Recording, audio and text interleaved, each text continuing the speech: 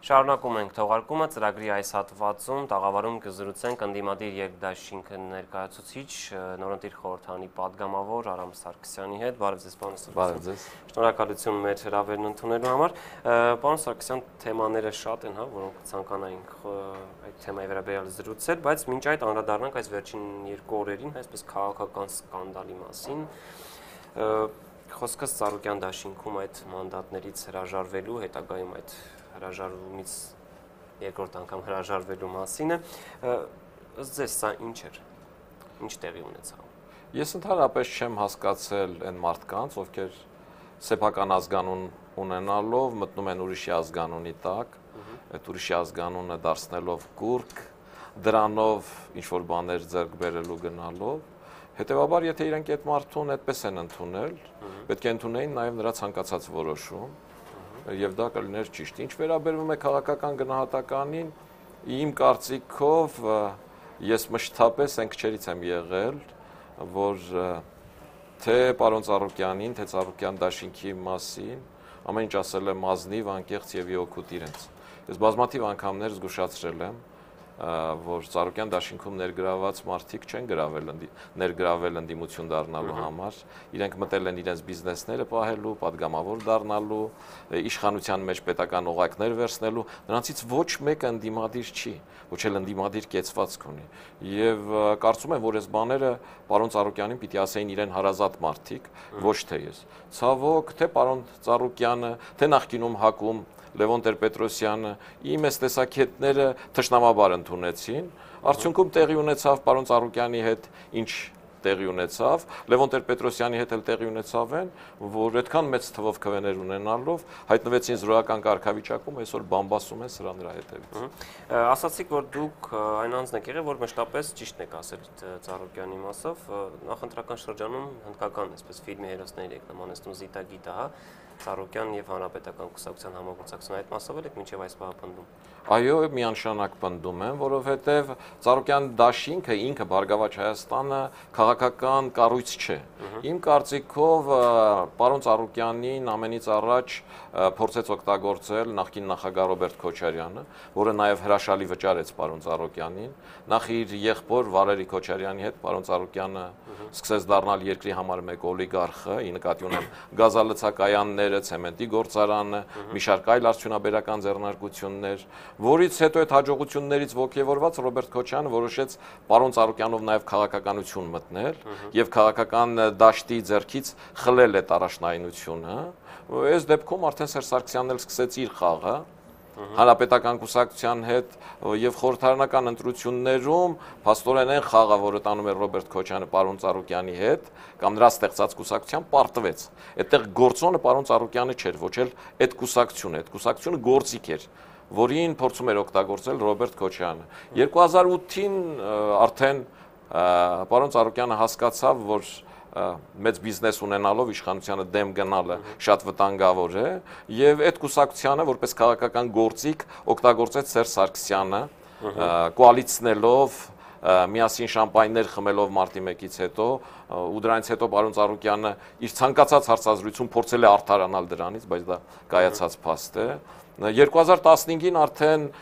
Բարգավաճ Հայաստան կուսակցությունը ակնհայտ փորձեց օգտագործել Լևոն Տեր-Պետրոսյանը եւ իրենք չէին էլ ཐակցնում որ ուզում են օգտագործեն ինչու Սերժ Սարգսյանը կարող է Ռոբերտ Քոչյանը կարող է մենք չենք կարող իրեն օգտագործել այսինքն այս ուժը քաղաքական ուժ չէ քաղաքական բովանդակություն չունի ու քաղաքական իմաստ չունի հետեւաբար այդ ենթատեքստում ցանկացած եկող ուժ որը փորձել է գնալ գործող իշխանության դեմ հաղթանակի կամ իր տեղն ամրապնդել օգտագործել է այդ ուժին ինչը շատ տխուր է, ինչը ես չէի ուզենա, որ այդ այդպես լիներ։ Առավել եւս մարդկային նկարագրի առումով, բայց նաեւ պարոն Ծառուկյանը պիտի հասկանա, որ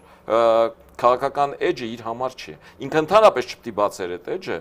փակելուց հետո էլ նորից հետ չպետք է գար, որովհետեւ այդ ենթատեքստում ինքը միայն տուժում է։ Բայց կամ յուրի հանգամանք էլ, եթե ունես սեփականություն, եթե ես երկրում տնտեսական լծակներ ունես, որևէ քաղաքական թիմի հետ չլինելը այս երկրի համար չի։ Այդ շատ վտանգավոր է։ Այ ես իսկապես իմ կյանքի հիմնական խնդիրը նաև քաղաքական դաշտում պայքարի հիմնական բովանդակությունը դրնում եմ դրա մեջ, որ արտադրող մարդը, տնտեսվարող մարդը կարող է ազատ լինել քաղաքականությունից, ընտրությունից ընտրություն գնալ քվեարկության, քվեարկել նրա օգտին, ում ուզում է, բայց չխառնվել քաղաքականության։ Շատ լավ, այդ օրերին նաև հա Ծառուկյան դաշինքից ձեզ հակադարձեցին, ասում էին, եթե դրամաբանությամբ շարժվենք, ապա ասում են Նայրա Զորաբյանն էր ասում, որ դուք էլ կրի գործարան ունեք, արատում այդ նույն դաբրով եք ստացել։ Նայրա գործարան ունենալը։ Նայրա Զորաբյանի տրամաբանության հակադրվել իմ իմ ցանկությունների կամ իմ մտեցումների դաշտին չի պատկանում, բայց պիտի ասեմ, որ ամեն դեպքում ունեք նման գործարան։ Գիտեք, գրինը գործարան չի։ Ես ունեմ ցեմենտի գործարան, որը կոչվում է հատուկ ցեմենտ։ Հենց այդ հանգամանքը ներբերելով ասում են, որ եթե այդպես է, ուրեմն դուք եք փոխկապակցված Սերժ։ Այդ ցեմենտի գործարանը ինչի ինքը որ ասում է, չի աշխատում։ Առաջին իսկ օրից ինձ խափեցին Այդ գործարանը սնանկությամբ վաճառեցին ինձ ու ասեցին, քանի որ դու ես դրա մասնագետը, դեռ Անդրանիկ Մարկայանի ժամանակ, ասեցին, ես գործարանը գնում ես, այ որ վերևի գործարանն էլ դրվի վաճառքի, առաջնահերթությունը կտրվի քեզ այս սնանկ գործարան, որովհետև եթե քու վերևում կա 1 միլիոն տոննա արտադրողականությամբ գործարան, 300.000 տոննա արտադրողականությամբ գործարանը, այն էլ թաց մեթոդով հին եղանակով 36 թվականին կառուցելը, այդ անիմաստ փողերի վատնում է։ Ես գնեցի այդ գործան, այդ գործանը գնելուց անմիջապես հաջորդ օրը Ռոբերտ Քոչարյանը, Ռոբերտ Քոչյանի հրահանգով Կարեն Կարապետյանը անջատեց այդ գործանի գազամատակարարումը։ Ասելով, որ այդ գազի խողովակը շատ հին է, այդտեղ կորուստները շատ-շատ են եւ առաջարկեցին նոր նախագիծ անել, որ նոր գազամատակարարում տան։ Այդ նոր գազի նախագծի գինը ավելի թանկ էր, քան այն գործարանի գինը, ինչ ես գնել եմ։ Ու առեսօր այդ գործարանը չի աշխատում։ Իսկ Գագիկ Ծառուկյանի գործարանը, վերևի գործարանը, անկախ նրանից ինքը դիմադիր է եղել, չի եղել, իշխանական կամ ոչ իշխանական է եղել, միևնույն այդ գործարանը մշտապես աշխատել է։ Իմ վերևի գործանից դուրս գալու հաջորդ օրը 6-րդ վարչությունը ամբողջությամբ մտավ վերևի գործարան ու 2100 մարդու կանչել հարցակնել են։ Դատախազությունում կան փաստերը։ Որևիցե անգամ ցեմենտի գործարանում որևէ մեկը, որևէ քնչական խնդիր, որևէ քրեական գործ չի արուցվել ու որևէ մեկը չի արձակվել։ Այսինքն մի բան էլ ձեր այդ գործարանն ունենալու հանգամանքով դուք իշխանության կողմից հետապնդումների եք ենթարկվել միանշանակ, այսինքն ես չունեմ սեփականություն, որը աշխատում է։ Ինչ վերաբերվում է գրին, գրինն արտադրամաս է։ Դա փոքր արտադրամաս է, ոնց որ որ ասեմ, որ գիտեք ինչ, Արամ Սարգսյանը կոստյում է հագնում, այո, հագնում եմ կոստյում։ Իսկ ինչ, այդ չպետք է հագնեի։ Այդ գրի արտադրամասը գիր արտադրում կողքի ոսկի գործարանու համ գործարանի համար էկոլոգիական լուրջ խնդիր է լուծում, որովհետև հիմնային միջավայր է ստեղծում, որպեսզի մարդիկ չկորավեն։ Առանց Ծառուկյան դաշինքի այդ Նայրա Զորաբյան ասած առանց Դաբրոյի հնարավոր է այդ գրի գործարանը։ Գիտեք, Կրինը գործարան չի, որից եմ ասում, դա արտադրություն է։ Առանց իշխանության դաբրոյի հնարավոր է կոստյում էլ հակնել, կոշիկ էլ հակնել, բայց գործարան ունենալ հնարավոր չի։ Քանի որ այս թեմային անդրադարձանք, ես հիշում եմ նաև որ մեկ այլ համեմատություն բերվեց, ասաց, որ Արամ Սարգսյանն էլ եղբորը Սարոյան եղբայրն են։ Մի եղբայրը հանրապետական կուսակցության PR-ն է անում, իսկ մյուս եղբայրը այսպես ծայրահեղ ընդդիմադիր դաշտում է հանդես գալիս։ Եթե ցույց տակ որևէ փաստ, որ փոքր եղբայրս Արմեն Սարգսյանը բանակում լինելով այս քարոզարշավի ընթացքում որևէ բառ է ասել քարոշչյան մասին կամ որևէ քվեարկության առումով բարձրաձայնել է, կասեմ ճիշտ է ասում, միանշանակ, բայց նման բան չկա։ Բայց ամեն դեպքում դու քաղաքական տարբեր ճամբարներ։ Միանշանակ քաղաքական տարբեր ճամբարներում ենք, ասեմ ավելին Արմենը ընդհանրապես քաղաքական էլ չի, երբեք էլ չի եղել, Նույնիսկ եղբորս Վազգեն Սարգսյանի ժամանակ ինքը հանրապետական կուսակցության շարքեր չի մտել։ Արմենը քաղաքական մարդ չի։ Արմենը շարժվում է ընկերական փոխհարաբերություններով։ Ինքը համարում է, որ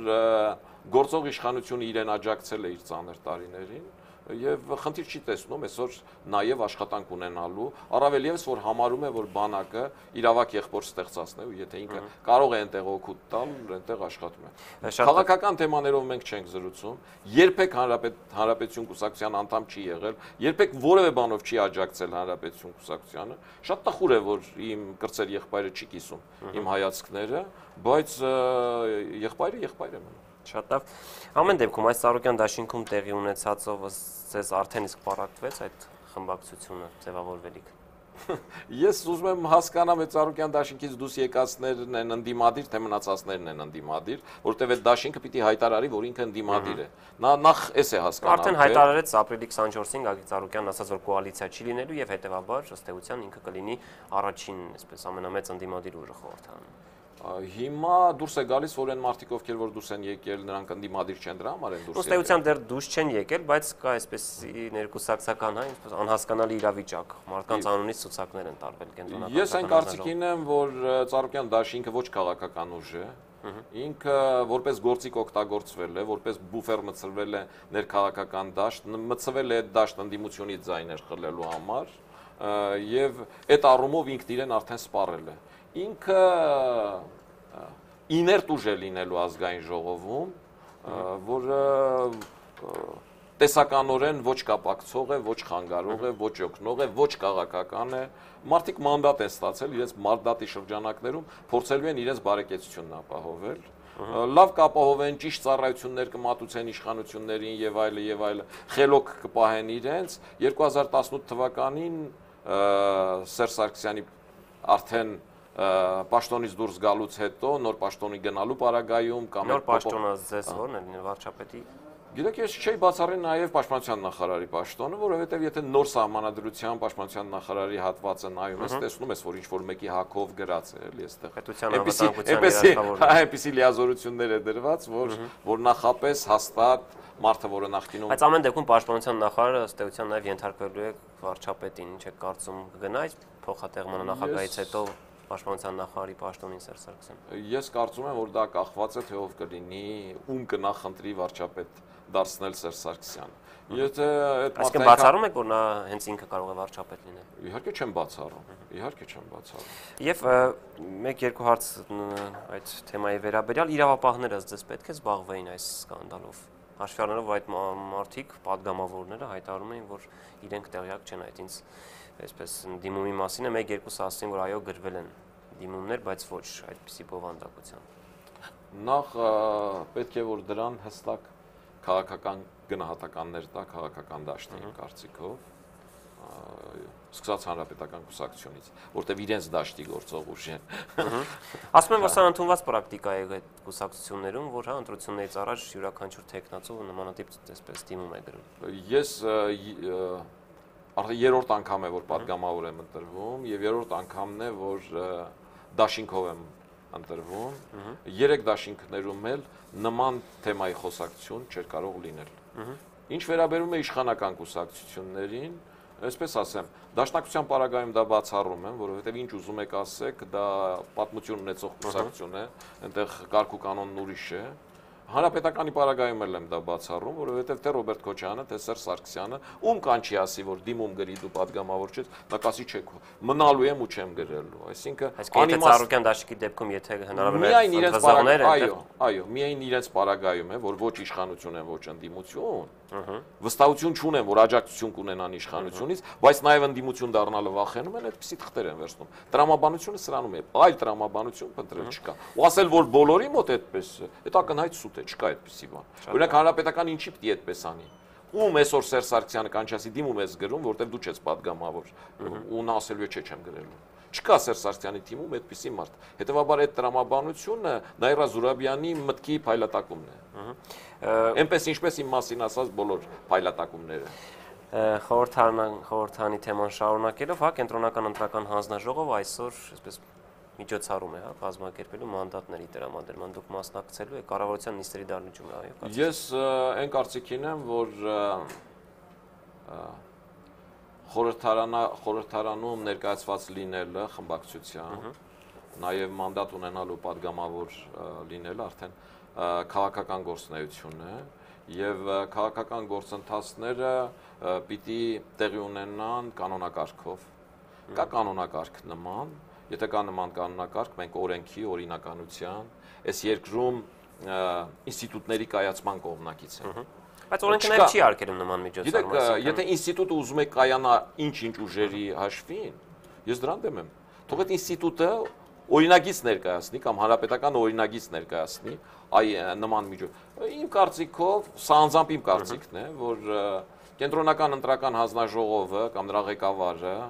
իրեն ցույց տալու կամ կայանալու կամ ինչ որ բան ասելու խնդիր ունի, որ տեսեք ինչ լավ աշխատեցի, նման միջոցառում է կազմակերպում կառավարությունների տանը եւ մնացած խմբակցությունների հաշվին այ համեցեք մեր մոտ բարևենք տան։ Չէ, թող բերի մեր տուն Արարատը։ Այսինքն, պարոն Սարգսյան, լավ չէ, լավ չեն աշխատել կենտրոնական ընտրական հանձնաժողովի ներկայացուցիչները։ Դուք ինչ համարում եք, որ լավ են աշխատել կենտրոնական ընտրական հանձնաժողովի անդամները, երբ որ ամբողջ աշխարհն ասում է, որ Հայաստանում ընտրությունները, մինչև ընտրությունները, ընտրատեղամասներից դուրս համատարած փող է բաժանվել,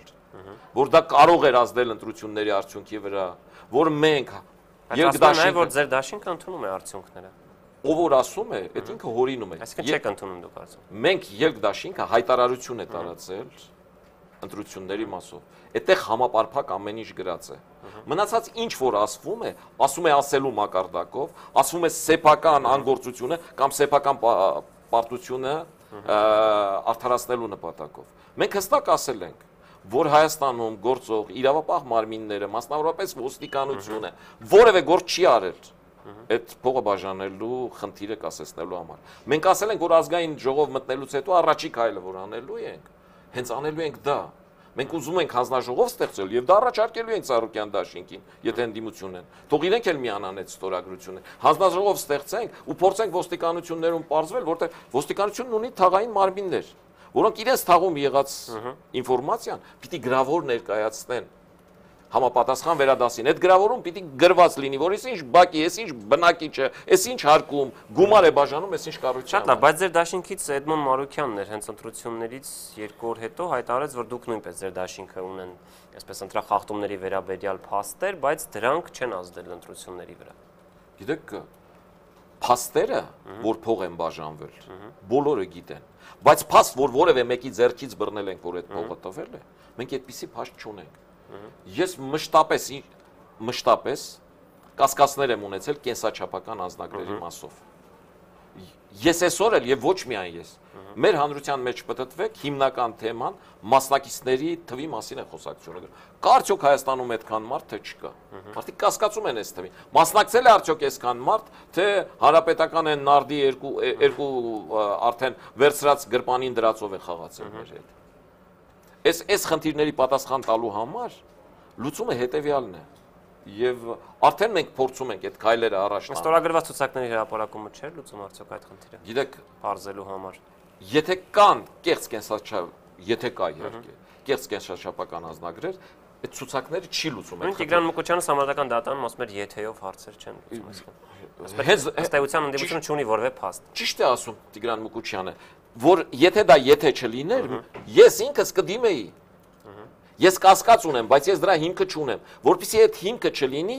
մենք առաջարկում ենք, որ մատնահետքերի այս նոր ավտոմատացված մեխանիզմը ունենա կենտրոնական բազա։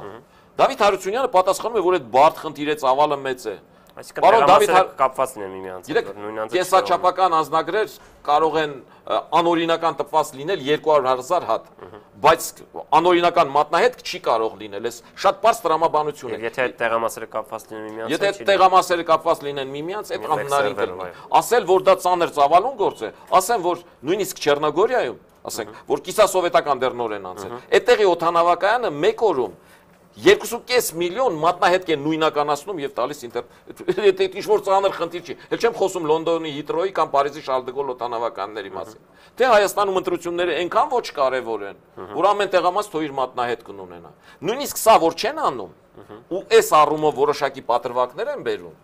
Անկախ նրանից եղել է այդպես թե չի եղել այդպես, ինչու չեք անում, կասկած է առաջացնում։ Խնդիրը փողը չի, չէ։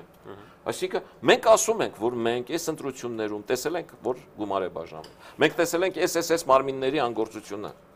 Մենք ունեցել ենք այդ տեղամասերում դիտորդներ՝ ի տարբերություն հակի ու ժառանգության, որոնք ունեցել են հանձնաժողովի անդամներ։ Մենք ասել ենք, որ իրենց հանձնաժողովի անդամները կարող էին հատուկ տեսակետ գրել։ Այն ինչի հնարավորությունը մենք չունեինք։ Եվ իրենք կարող էին ունենալ համանadrական դատարան բերելու այնպիսի փաստեր, որոնք անբեկանելի լինեին, եւ մենք էլ միանայինք դրան որ մեր Արտակ Զեյնալյանը ուշի ուշով հետևել է այդ ամբողջ գործընթացին, որ մեր այդ որոշումը համանadrական դատարան բողոքարկելու կամ չբողոքարկելու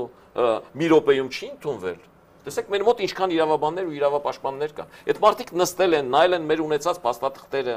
քննել են դրանք ինչ արդյունք կարող ենք ունենալ այդ փաստաթղթերով մտնելով։ Արդյոք Մուկուչյանը այդ նույն բանը մեզ չէր ասի։ Մենք ճիշտ մասնագիտացված թիմ ենք։ Մեր թիմում կան մասնագետներ։ Ամեն մարդ իր գործի տիրապետողն է։ Եվ եթե այդ գործի տիրապետող մարդը ծանր ու թեթև անելով, հաշ մենք այսուհետ էլ այդպես ենք աշխատելու ցանկացած բանում Երևանի քաղաքում մերը լինելու պարագայում տեսեք այսօր Նիկոլ Փաշինյանը ուղիղ եթեր էր մտել հենց Աչապնյակի մետրոյի այ չկառուցված լինել հիմնավորումները որը ինքը բերում է վստահեցնում եմ ձեզ միանշանակ ճշգրիտ են եւ իրականանալի այդ օթի մեջ չի այդ ինքը չի գնացել տանը քնել այսպեսի հետեւության է եկել փողոցներով եւ մենք մինչեւ գիշերվա ժամը 1-ը այդ հարցերը քննարկում ենք նայեք ով է շատ աշխատում նայեք 3 քաղաքապետի տեխնացու կա Մեկը նստում է մեքենան ծառայողական, գալիս է դուրը շրխկացնում, բարձրանում է այնտեղ մի կարմիր սվիտրով էլ մարդ բերում են, դեմ են տալիս, նա խոսում, խոսում է, հա։ Հետո մեզ էլ բեզելնիկ է անվանում ու գնում է ու համապատասխան վարձատրությունն է ստանում։ Բայց տարօրինականը ծառայողական մեքենայով են գալիս։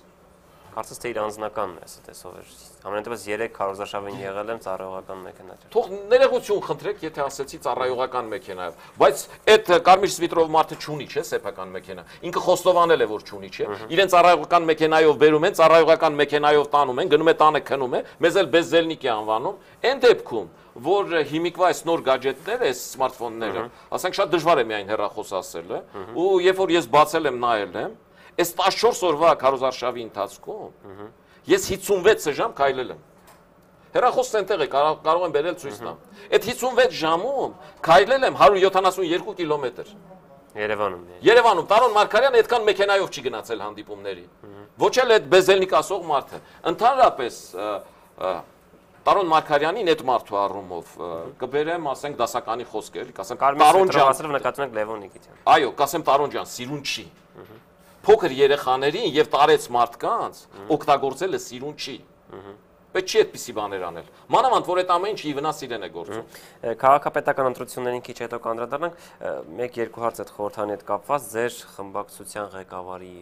հարցը որոշված է թե ոչ որոշված չի դեռ, բայց ես կարծում եմ այդ խնդիրը շատ արագ կորոշվի։ Առաջին երյակից կլինի, պարոն Սարգսյան համամասնական ցուցակ։ Գիտեք, քանի քանի որ չի քննարկվել դեռ դժվարանում եմ ասել, բայց իմ անձնական կարծիքով միանշանակ առաջին երյակից կլինի։ Իսկ դա կորոշեն խորհրդանանցած падգամավորները թե ընդհանուր այդ դաշինքի բոլոր ներկայացուցիչները, այսինքն ինչ ձևաչափով է որոշվելու այդ հարցը երբ որ չի քննարկվել, այ հիմի դուք հարցեր եք տալի, որին ես կարող եմ պատասխանել ես ինքս, երբ որ այդ հարցը առաջանա, ինչ մոտեցում։ Նախ ասեմ, որ ես ինքս ինչ չեմ տեսնում այդ ենթատեքստում, որովհետև օրենսդիր գործնեությունը իմ ուժեղ տեղերից չի։ Ես ավելի շատ գործադիրի մարդ եմ ու բազմատիվ անգամներ այդ ասել եմ։ Ու այդտեղ պետք է մարդ, որի իմանա խորհրդարանի նիստուկացը, օրենքները, այդ օրենքների հմտությունը եւ պետք է լինի մարդ քաղաքական, որը քաղաքական հայտարարությունների է տիրապետում եւ այլ։ Եվ այս ենթատեքստում ես հրաշալի նայում եմ թե Էդմոն Մարուկյանին, թե Նիկոլ Փաշինյան։ Այս երկու կոնտեքստն էլ բավարարում են այն չափանիշին բայց ես չգիտեմ իրենք ուզում են թե չեն չեն ուզում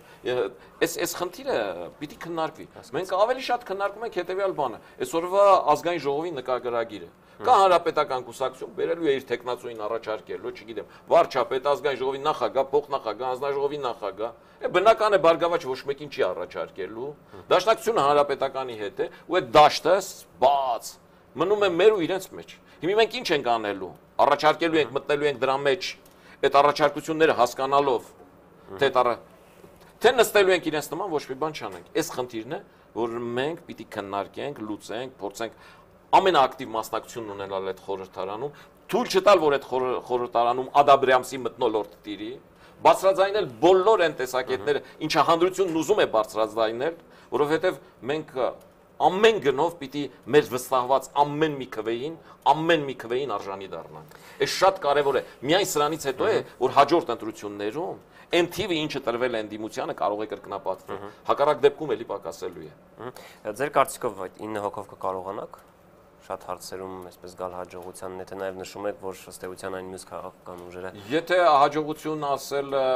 գործող իշխանությանը impeachment անելը կամ հանրապետական վարչապետին դեմ քվեարկելով շթողնել, որ նա վարչապետ դառնալը, իհարկե ոչ, որտեվ ինը քվեն չի բավարարում բայց որ դեբատներ սարքել, ալտերնատիվ վարչապետի տեխնացուներ դնել, ծրագրերից խոսել, քննադատել իրենց բերած ծրագրերը, հնարավորություն չտալ իրեն շնչելու որևէ բան, որը հա- հանրության ու ժողովրդի ու պետության շահից չի բռնում, այդ միանշանակ խոստանում է։ Այդ հաստատ այդպես է լինելու։ Ամեն դեպքում դուք ակտիվ խորհրդանական գործունեություն կծավալեք, ասացիք, որ ձեզ հոգեհարազատ է այսպես գործադիրում լինելը։ Գիտեք, ես պարտադրված եմ ակտիվ քաղաքական գործունեություն ծավալել խորհրդարանում, որովհետև Ելդաշինք այդ թիմ է։ Ելդաշինքը իր հաջողությունները ձեռք բերեց այդ երեք կուսակցությունների գաղափարական հենքի վրա, ասենք այդ երեք կուսակցությունն էլ հայտարարել էր, որ Եվրասիական միություն մտնելը ճիշտ չէ դեմ էր եղել դրա։ Սա ընդունվեց որպես գաղափարական հենք ու այստեղից մենք սկսեցինք համագործակցել։ Այդ համագործակցության արդյունքում մենք ունեցանք այդ քվեն եւ այդ քվեն այդ երեքի համագործակցության ընդհանուր Այդ ֆորմատով համագործակցության մասին, եթե չեմ սխալվում, հենց առաջինը ազատության եթերում Այո։ ավելի վաղ ասել, որ փորձելու եք, հա, միավորել այս ուժին։ Նաև ընտրություններից առաջ նշում էր, որ այդ դաշինքը, այդ երեք ուժերը մեկ կուսակցություն կարող է դառնան։ Նման աշխատանքներ այս պահին տարվում են։ Այն գործընթացը, ինչը տեղի ունեցավ թե խորհրդարանական ընտրությունների ժամանակ, թե հիմա տեղի է ունենում քաղաքապետի ընտրությունների ժամանակ, հստակ իրավունք է տալիս ասելու, որ այո, դա ոչ միայն հնարավոր է, նաև շատ իրատեսական է։ Ասել, որ այս ընթացքում փորձել ենք այդ ուղությամբ որոշակի քայլեր անել, դա այդպես չի, բայց այս ընթացքում ընկերներ ենք դարձել։ Այս ընթացքում ժամանակ չենք ունեցել։ Մենք արդեն ը, ը, 50 օրից ավել է փողոցում ենք։ Այո, հաշվի առնելով խորհրդանական Տեսականորեն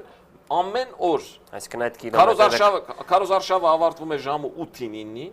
8-ից 9-ից հետո հետ են գալիս գրասենյակ հաջորդ օրվա խնդիրները, հազար ու մի խնդիրներ, ասելիքի առումով քննարկումներ, դրանք երբեմն տևում են մինչև գիշերվա ժամը 2-ը 3-ը։ Եթե հաշվի առնենք էլ որ ես Արարատում տուն չունեմ,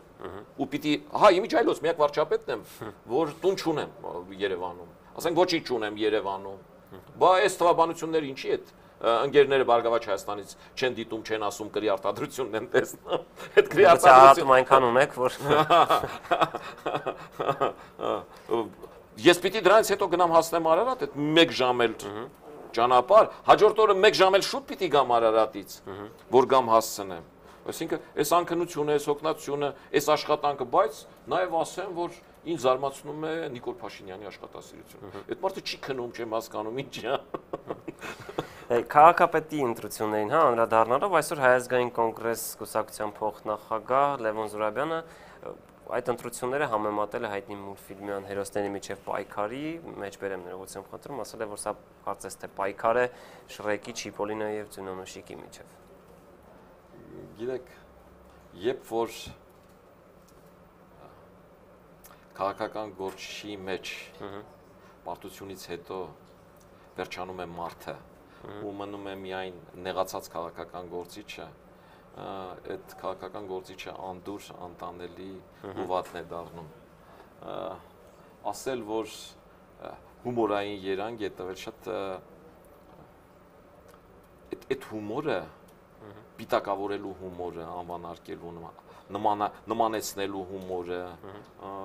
այդ սխալ հումոր է առավել եւս քաղաքական գործի համար։ Իդեպ այս ընտրություններում նույնպես դուք չեք ունենա հանձնաժողովի անդամներ, որևէ այլ կուսակցության դիմել եք, որպեսզի իրենց տեղը տան ձեզ կամ աջակցեն։ Ես չգիտեմ կունենանք թե չենք Չէ, ունենա։ խորհրդանում ընդգրկված կուսակցություններն են ունենա հանձնաժողովի անդամներ, տվյալ դեպքում ելքը Ա, ընտրությունների ժամանակ հանձնաժողովի անդամներ։ Չէ, չենք դիմել, որովհետև գիտեք ինչ, այդ հանձնաժողովի անդամները աշխատավարձ են ստանում այդ հանձնաժողովում աշխատելու համար եւ եւ հակ- 50000 դրամ մեկ։ Հա, եւ հակված չեն մի օրվա համար այդ 50000։ Հաշվի առնելով մեր երկրի նաեւ սոցիալական այս ծանր վիճակը, որ մարդկանց համար 1 օրում 50000 դրամ աշխատելը, այն էլ ընդդիմադիր դաշտի, ասենք ժառանգության կամ հակի վստահված հանձնաժողովի անդամները, որոնք հիմնականում աշխատանք չունեն կամ դժվար սոցիալական պայմաններ։ Դա չի դժվարեցնի ձեր աշխատանքը վերահսկողության առումով։ Ազնիվ մարդ անկախ նրանից ինքը հակից է թե չէ, հակում շատ կան լավ մարդիկ, ազնիվ մարդիկ։ Հակը այնպես չի, որ իր կյանքում ամեն ինչ ինչ որ արել է սխալ է արել։ Հակի բոլոր որոշումները չեն, որ սխալ են։ Ահա Հակից կարելի է նաև լավ օրինակներ վերցնել։ Հակում կան լավ մարդիկ, հակում կան հանձնաժողովականներ, որոնք մինչև վերջ կնստեն ու կպայքարեն, անկախ նրանից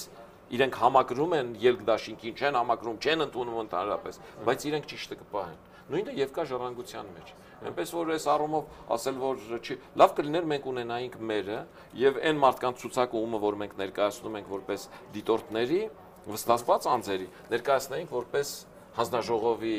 անդամների, որոնց լիազորությունները անհամեմատ մեծ են, բայց ասեմ, որ շատ մեծ դժվարություն չի ներկայացնի այն խնդիրը, որովհետեւ այդ խնդիրը, որովհետեւ ես տեսնում եմ, որ ընտրությունները չեն թե նախորդ ընտրության ժամանակ, թե այս ընտրություններում կեղծիքները չեն լինելու ընտրատեղամասում կեղծիքները լինելու են նորից ընտրատեղամասից դուրս։ Ինչպիսի կեղծիքներ կլինեն, ասում են, որ ի տարբերություն խորհրդանական ընտրությունների, հա, քաղաքապետական այս ընտրություններում այդպես հայտնի օլիգարխներ ներգրաված չեն եւ հետեւաբար իրենք այդ գումար բաժանել ընտրակաշարքի գործոնը փոքրինչ նվազ կլինի։ Գիտեք, Ըստ ձեզ ինչի վրա շեշտը կդնի հանրապետական եթե ասում եք որ հաղթելու շանսեր չունի։ Միանշանակ ընտրատեղամասից դուրս է դնելու շեշտը, իսկ ընտրատեղամասից դուրս դնելու դեպքում դա առաջին հերթին ընտրակաշարքն է, երկրորդը ադմինիստրատիվ ռեսուրսի օգտագործումը։ Ինչի ակնհայտ օրինակներ արդեն դուք էլ բազմաթիվ անգամներ ցույց եք տվել ազատության ուղիղ եթերում դպրոցների տնօրենների, մարդկապարտեզի տնօրենների կողմից զանգահարելը, Պտարոն Մարկարյանի հավաքներին հրավիրելը, դրանից հետո կլինեն նաև որ պիտի գնաք քվեարկեք այս բաները, բայց կա նաև փողաբաժանման խնդիր։ Այստեղ ձեր ասած խնդրեմը կա իհարկե, որովհետև նախորդ պետք է բաժանի։ Նկատի ունեմ խորհրդանական ընտրությունների ժամանակ, եթե ասենք հիշատակում էր դահակը նախկին պետ Միրան Պողոսյանի անունը, այս դեպքում նրա շահագրգռվածությունը ո՞րն է։ Այս դեպքում էսպես է լինելու։ Այն օլիգարխները, որոնք ընտրությունների ժամանակ բաժանել են, իրեն գալու գալու են ու ասելու են Տարոն ջան, գիտեք, մարդիկ անհուսալի են, առես փողը, ու տալու են ավելի քիչ, քան իրենք բաժանել են։ Եվ դրա համար գներն իջեցնելու են, էլի։ Ասելու են առես փողը դու ինքդ բաժանի, որ չասես չեմ բաժանել կամ լավատ եմ։ Ես փողն եմ տալիս, դուք ու բաժանողներով բաժանի։ Բայց այստեղ Տարոն Մարկարյանը խնդրեմ է ունենալու, որովհետև այս ընտրությունների մեխանիզմը հանրապետարանը հորինել էր այսպես ասենք մարդը, որը որ առաջադրվել է, ինքը 50000 մարդու տալիս է 10000-ական դրամ։ Տանում է 500 միլիոն դրամ։ Պլյուս 250 միլիոն դրամ տալիս է այն մարդկանց, ովքեր այդ այդ մարդկանց 50000 մարդուն հաշվառում են հաշվառում վերահսկում են այդ ամբողջ գործընթացը։ Այո, այո, այո, ովքեր այդ 500.000 մարդուն հաշվառում են։ Այդ 500.000 այդ այդ հաշվառող մարդիկ, ովքեր որ հաշվառվել են, այդ օլիգարխինն են Դա տեղական ինքնակառավարման մարմիններինը չեն։ Եվ Տարոն Մարկարյանը, թեկուզ այդ փողն ունենալով նույնիսկ մի քիչ ավելի քիչ, դրանք տեղ հասցնելու մեխանիզմները իր ձեռքում չի։ Այդտեղ հասցնելու մեխանիզմը, ասենք, ձեր ասած Մարթունն է, կամ Ալեքսանյանինն է, կամ չգիտեմ Արտակինն է, այսպես ասեմ։ Մեխանիզմները փող ունեցողներինն են քաղաքապետարանները, թաղապետարանները իրենք աջակցել են այդ մեխանիզմը։ Թող ազատություն մեծ կթողնի ընտրողի վրա, դες հաշվառնա որ մայրաքաղաք Երևանը այսպես միշտ իր ընդդիմադիր կեցվածքով աչքի է ընկել։ Երևան քաղաքում փողը ամեն այս ընտրությունները ցույց տվեցին, որ փողը ամենակիչ ազդեցությունն է ունեցել։ Եվ դա շատ դրական էր, եւ դա էր նաեւ այն հույսը, որ եթե մենք Երևան քաղաքում նույնիսկ փողի նման ազդեցության պարագայում եւ դաշինքը 14% կվե հավաքել, պարժի այդ թիմի նա տեխնացույով, այնել հայտնի տեխնացույով մտնել այդ գործընթացի մեջ, ով նաև Երևանում ինքը հաղթել է Վարկանիշային ցուցակով Նիկոլ Փաշինյանով մտնել որտեղ մենք կարող էինք այլ մարդել նաև առաջարկել բայց այդ վստահությունն էր որ Նիկոլ Փաշինյանով մտանք այդ ենթատեքստում որովհետև տեսանք որ Երևանցին կարող է այս ընտրություններում հաշվի առնելով նաև այն բարդությունները ինչ ունի Տարոն Մարկարյանը, նաև որ այսքան երկար տարի աշխատելուց մարդիկ հոգնում են նաև նույն մարդից, հաշվի առնելով որ ելդաշինքը փոքր, բայց շոշափելի հաջողություն է ունեցել այս ընտրություններում։ Տեսեք ինչ քաղաքական ուժեր դուրս մնացին ինչ հնարավորությունների պայմաններում ինչքան կվեներ ունենալով ու ելքդաշինքը անցավ ու անցավ զուտ իր աշխատասիրության որոշեցինք մեր աշխատասիրությունը կրկնապատկել, որոշեցինք եւս 1 ամիս չհոգնել, որոշեցինք մտնել այդ խնդրի մեջ հույս ունենալով, որ վերջի վերջո մեր քաղաքացին է այդ քվեն տվողը։ Մենք շատ լավ հասկանում ենք, որ այդ քաղաքացու համար այդ 10000 դրամն է, 15000 դրամն է, շատ-շատ կարևոր է։ Մենք հասկանում ենք, որ այդ օրվա խնդիրը ցավում ենք, որ այդ քաղաքացուն բերել հասցրել են դրան, որ ինքը դրանով օրվա խնդիր է լուծում։ Բայց շատ լավ է հասկանալով, ընկալելով այդ մարդուն նաև, ասում ենք, որ քաղաքացի ջան, քու մի անգամ Արի քեզ զրկի դրանից։ Այդ նույն քաղաքացիներից շատերն ասում են անգամ եթե ձայնը տանք, միևնույնն է իշխանությունը չի զիջի այս այս պաշտոնը։ Իշխանության զիջել կամ չզիջել, իհարկե իշխանությունը չի ուզում ոչինչ զիջել։ Ու իշխանությունը չի էլ հասկանում, այդ զիջելը այլ կերպ են ձևակերպում, ասում են միևնույնը չեն տալու։ Հա, վլաստը։ Ոչ մի տարբերություն տալու թե չտալու։ Գիտեք, ցանկացած պետություն կայանում է խնդիրներ է լուծում, երբ գործում է հակակշիռների մեխանիզմը։ Հայաստանում չկա այդ մեխանիզմը։ Երևանի քաղաքապետը ընդդիմադիր ունենալը, իսկ Երևանը շատ լուրջ տնտեսություն է, շատ ծանր տնտեսություն է, ով որ մտնի դրա տակ ահռելի աշխատանք ունի անելու ու այս առումով ունենալ Երևանի քաղաքապետ ընդդիմադիր, որին վերահսկելու է Հայաստանի իշխանությունները դատական, իշխանական կառավարությունը վարչապետով եւ ունենալու քաղաքապետ, որը ժողովրդի կողմից ընտրված է, որը կարող է վերահասկել Երևան քաղաքում այդ իշխանությունների պահվածքը, այդ միանշանակ բխում է մեր երկրի շահերից։ Հասկանում եք, քաղաքականության մեջ